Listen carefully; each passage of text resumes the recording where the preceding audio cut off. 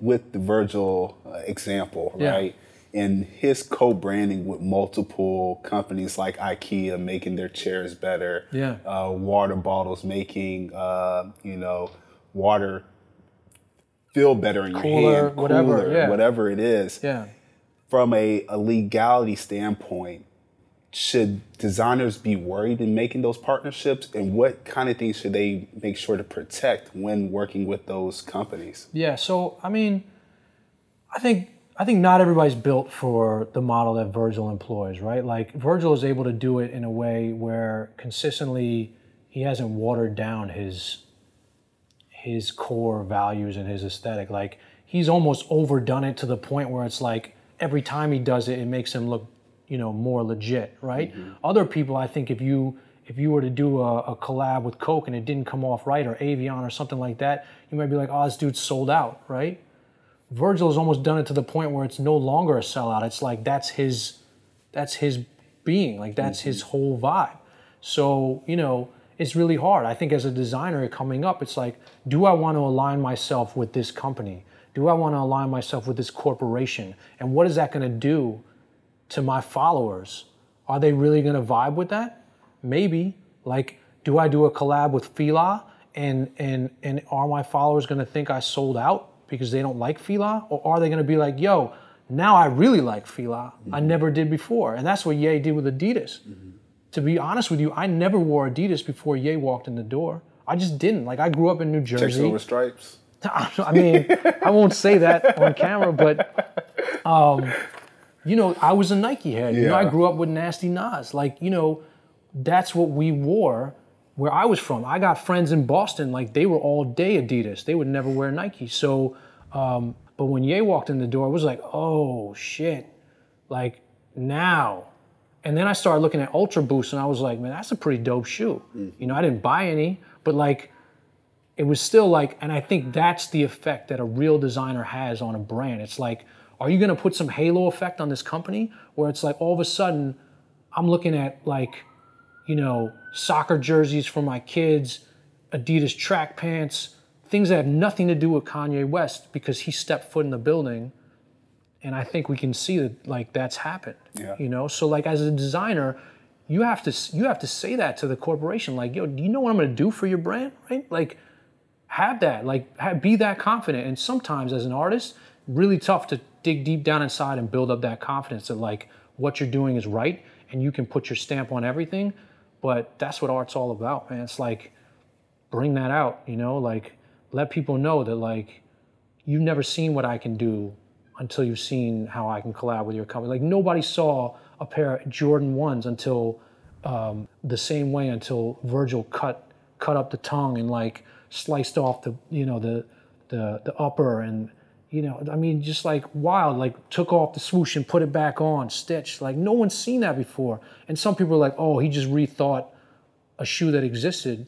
Yeah but no one did that right? Mm-hmm. It's easy for you to say now. Because it's been done. right. But no one was doing that before. And now everyone's like oh how do I cut this up? It's like come on man. Yeah. you know find your own lane you know? Yeah. so like it's really it's really easy to hate on it after the fact but it's very hard to think of it before. So when i you know what i would say to designers is like yo look at the look at life in, in your lens and say what can i do to make this better and then go walk into that meeting and say you've never seen what i can do to your product and this is why you need to hire me That is a great approach. And I'm going to play devil's advocate Sure. there. and the reason why is because when I look at uh, Adidas, we're talking about them.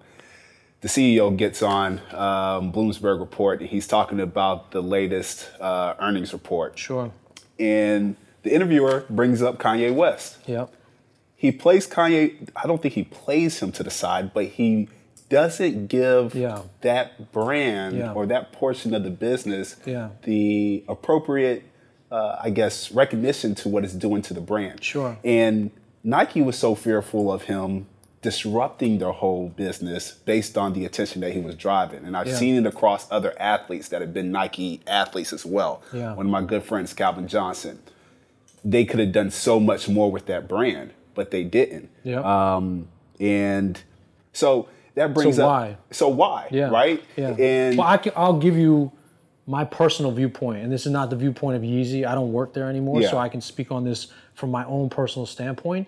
If I am the CEO of Adidas and I have my investors and I have my shareholders and I have my prospective shareholders in the marketplace, if I get up there and announce that Kanye West is the sole reason why my brand grew 5x over the last three, five years, what's going to happen if he walks away Yeah. and to my investors or like what's going to happen if it doesn't work out or if suddenly that business declines for some reason like that's utter ruin right Yeah. so you have to tell your investors that everything else in the company is going great and i'm not saying it's not like i'm not i'm not making any statement because i really don't know how that company's performing other than yeezy I can look at it and, and just from a you know, you know, a consumer standpoint and just from a uh, a fan, Yeah. I can look at it and say like, oh, those shoes are selling out. Like those shoes are not. They sat on the shelf.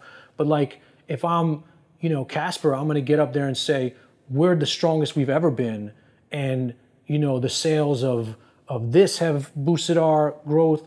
Soccer's been great. Like we continue. Like that's a diverse portfolio. You're not gonna put all your eggs in one basket in Kanye West because the minute you do that, you're gonna sink your company if that doesn't pan out. Or you know, anything could happen. So it sounds like, Plus, he's very mercurial. So, like, Yeah. you know, you never know how it's going to play out.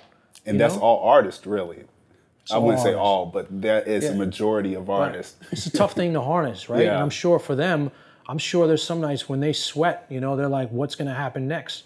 But that's dealing with Kanye West. You know? So, so are designers outside of the brand disruptors? Is social media a possible disruptor to fashion?